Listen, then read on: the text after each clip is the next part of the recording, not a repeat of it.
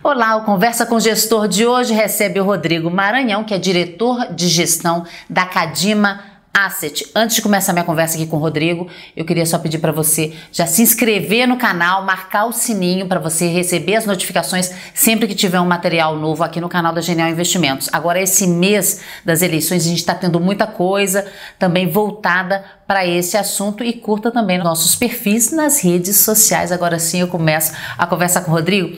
Eu pedi para o Rodrigo vir aqui conversar com a gente porque ele tem uma história diferente dos outros gestores que eu entrevisto aqui, porque ele é um gestor que cria robôs, porque os fundos que ele, que ele gere são fundos quantitativos, são fundos de, que caminham com fórmulas matemáticas. Explica você, Rodrigo, o que, o que, que é uma gestão com robôs? Bom, Denise, primeiro, obrigado pela oportunidade. É, então, a ideia de um fundo quantitativo é que você vai definir de antemão é, sobre quais circunstâncias você deve comprar um ativo, sobre quais circunstâncias você deve vender um ativo, qual o tamanho de cada aposta que você deve fazer, e você faz isso usando fórmulas matemáticas. Então, você consegue transformar isso num robô realmente. É, às vezes podem ser um conjunto de regras até simples. Você poderia, por exemplo, é, criar um conjunto de regras que você compraria um ativo sempre que o ativo rompesse o maior preço dos últimos 20 dias. Ou sempre que ele caísse abaixo do menor preço dos últimos 20 dias, você venderia ele a descoberto.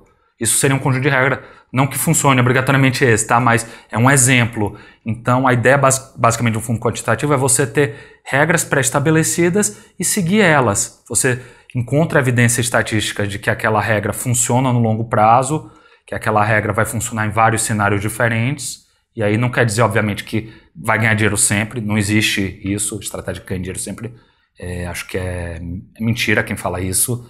Mas o importante é que nos momentos bons, essa sua regra ela mais do que compensa os períodos ruins. Tá, agora o, então você define uma programação, né, um Exatamente. software é, com algoritmos que, que acompanham aí o desempenho, mas o, o tipo de informação que você alimenta esse software para tomada de decisões é apenas em cima do preço da ação ou tem outro, por exemplo, o balanço entra aí na jogada também? Pode ser, a gente tem alguns algoritmos que eles usam, por exemplo, é, informação do, do balanço das empresas que são negociadas na, na bolsa. E a gente puxa essas informações e usa elas para dar notas para as empresas, essas informações do balanço. E aí, com base nessa nota, você compraria as empresas com melhores notas. Isso, por exemplo, é uma das estratégias que a gente tem dentro dos fundos. É, outras estratégias, por exemplo, podem usar o próprio preço como input. Esse exemplo que eu dei anteriormente do, do, do, preço, quando ele for acima do maior preço dos últimos 20 dias, seria um exemplo de estratégia que usaria apenas o preço como input. Então, esse, o que você vai alimentar esse seu robô é, vai depender do tipo de é, fenômeno, do tipo de. É, o tipo de coisa que você esteja querendo capturar, ali, o tipo de ganho que você esteja querendo capturar. No caso do Cadima 2, que é o fundo que entrou na, na grade da Genial. Que entrou agora recentemente, Entrou recentemente, exatamente. Esse fundo ele é um multimercado com benchmark CDI, então ele opera os mais diferentes mercados, tanto no Brasil como lá fora. É, opera muitos futuros, operações, ETFs, é, futuros desde índice, futuros de índices de ações até futuros de moedas, de juros, opera de tudo. E esse produto ele é o fundo quant mais antigo do Brasil, o Cardman 2. Na verdade, ele faz parte da família do Cardman FICFIN, ele é um fundo idêntico ao Cardman FICFIN, por sua vez é o quant mais antigo do Brasil. Começou lá em maio de 2007, então é um fundo com mais de 11 anos de histórico.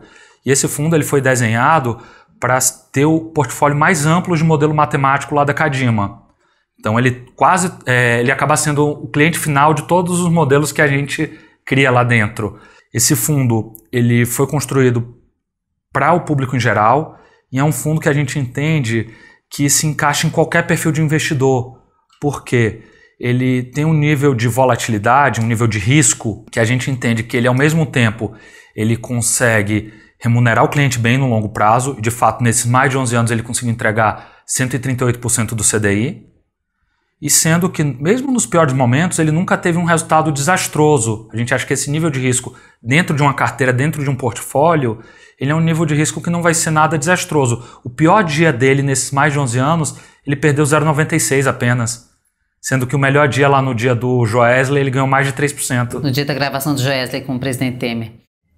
Então, Rodrigo, mas quanto que vocês têm nesse fundo, no Cadima 2? É, essa estratégia está hoje em dia ali próximo de 240 milhões. E esse ano está dando quanto? Esse ano está dando ali próximo de 180, 190 do CDI. Agora, eu, por exemplo, se eu sou uma investidora e quero investir num fundo de vocês. Por que, que eu vou no fundo quantitativo e não num fundo tradicional? Qual que é a vantagem sobre o fundo tradicional? Olha, boa pergunta. Em primeiro lugar, é, assim, na minha opinião, não é que seja melhor ou pior do que a abordagem tradicional, essa abordagem quant. Ela apenas é uma abordagem diferente e que também é válida. Até mesmo se você pega lá fora é, como que está o cenário dos fundos lá fora, é, hoje em dia você pega os maiores, os 11 maiores é, gestores de fundos do mundo, desses 11, quatro são puramente quantitativos, cinco tem tanto uma parte quantitativa quanto uma parte tradicional e apenas dois são puramente discricionários tradicionais. Então já, é, já, é bem comum lá fora. É muito comum, muito, é, muito bem estruturado. Tem gente fazendo isso lá desde a década de 40 lá nos Estados Unidos. Antes de existir os computadores já começaram a fazer esse tipo de coisa. Na mão, na no mão, cálculo. Na mão. Tem um Maquininha de calcular, talvez, né? É, pois é. Então já é algo muito antigo, muito consolidado lá fora. E aí, falando um pouquinho da, das diferenças, é, quando você tem essas regras pré-estabelecidas, você consegue, por exemplo, é, tirar alguns vieses humanos que são normais, como, por exemplo, medo. Vamos lá, voltando aí um pouquinho na nossa história aí. 2008, por exemplo, tava aquela crise mundial tal. Vamos lá, era muito claro ali que o cenário macro tava, tava ruim, né? Que Tava, tava uma crise global. Os gestores tradicionais conseguiram ganhar dinheiro? Pouquíssimos ganharam dinheiro ali naquele cenário. E por quê? Porque o medo atrapalhou eles de capturarem aquele movimento. Então, quando você sistematiza a sua estratégia, você elimina esse viés humano. Mas os quantitativos foram bem? Foram. Aquele ano foi. É, o nosso fundo naquele ano rendeu 190 de CDI, em 2008. Mas olha só, e, e, como é que um fundo é, quantitativo reage ao noticiário diário, por exemplo? Agora que está essa época de eleição, sai uma pesquisa eleitoral, mexe com a Bolsa. Ele também captura esses movimentos que. Ótima pergunta. Sim, o, o nosso fundo, especificamente o Cadma 2, é, a estratégia que ele tem uma maior alocação de risco, que ele, que ele tem mais risco, é uma estratégia que tenta capturar movimentos rápidos, movimentos ali de um a três dias mais ou menos. E isso faz com que esse modelo ele funcione melhor em ambientes de mais volatilidade, em ambientes que você tem movimentos maiores de um dia para o outro. Então, esse tipo de cenário, na verdade, costuma ser benéfico para a gente, porque você tem movimentos muito grandes ali de um dia para o outro. Cada dia é uma notícia nova que faz o mercado se movimentar muito. Então, isso, em média, costuma nos ajudar. Mas que tipo de investidor que está mais aberto a esse tipo? É a galera mais jovem que fala, ah, o robô que vai administrar, estou confiando. Que tipo de investidor que você vê com mais frequência entrando em fundos assim? É até curioso isso, porque talvez assim, numa primeira, numa primeira impressão as pessoas pudessem achar que, ah, não, vai ser o pessoal mais jovem que vai gostar disso. Mas, assim, na verdade, não. Não? Normalmente, o pessoal mais velho, assim, que já tem mais experiência, já viu, que sabe que lá fora isso é muito comum é, e acaba sentindo mais confiança, entende mais esse papel de diversificação que o fundo quant tem na carteira dele, pode ter na carteira, porque o nosso fundo, ele costuma ganhar ou perder em momentos diferentes dos outros fundos. Então, é um fundo que já se provou ganhador no longo prazo, como eu falei, são poucos os fundos com um histórico tão longo como, a gente. E ele costuma ganhar ou perder em momentos diferentes. Então, esse investidor, muitas vezes que, é, que já tem mais experiência, ele, ele entende que é importante diversificar os ativos que ele tem na carteira, é importante diversificar a composição de fundos que ele tem ali. Não adianta de nada ele botar a carteira dele ali em quatro, cinco gestores macro. Por mais que os caras sejam bons, eles normalmente vão ganhar ou perder em períodos parecidos. Se você chega e substitui um desses quatro, cinco caras por um fundo quant, você vai ter um ativo ali que também ganha dinheiro no longo prazo, mas que tende a ganhar ou perder em momentos diferentes. E aí, por exemplo, quando os fundos macro estiverem indo mal, muitas vezes o fundo quant vai estar indo bem, vai ajudar a compensar, a segurar aquela carteira. Obrigada, Eu que viu, agradeço. Maranhão? Obrigado. Obrigadão. Conversei agora com o Rodrigo Maranhão, da Cadima Asset. A você, muito obrigada pela companhia. Continue aqui no canal da Genial. Tem sempre muita informação para você. Bons investimentos.